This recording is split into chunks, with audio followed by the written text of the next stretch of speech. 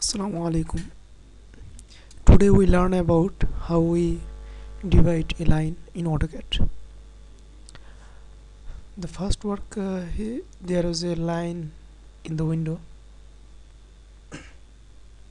Now we divide this line into five pieces. So firstly we done divide command. We need to we need to divide command. So we div enter the short command of keyboard. Div enter then we select the line. Now we uh, give the times of piece. So it's uh, five five pieces. We need to divide this 5 into 5 pieces so uh,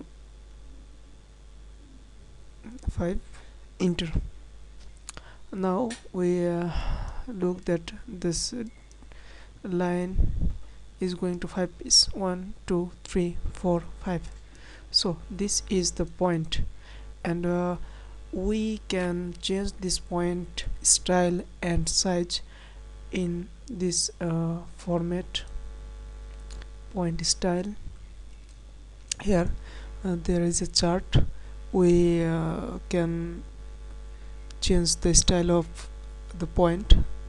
We select this one this one. Now this is the point size.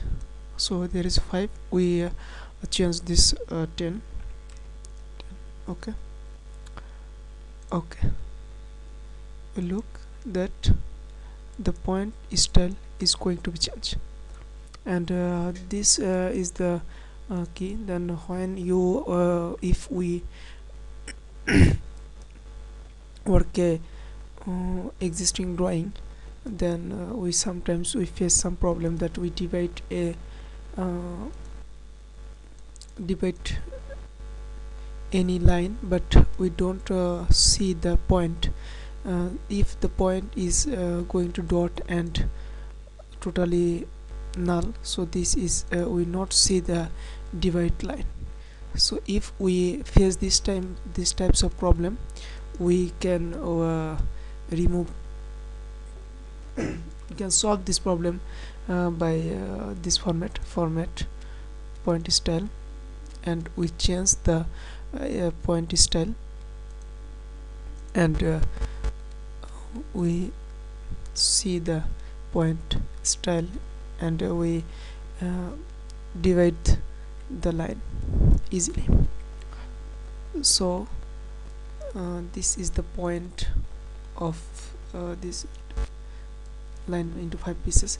So this is the way to divide a line in AutoCAD. So uh, no more today thank you for all. Assalamu alaikum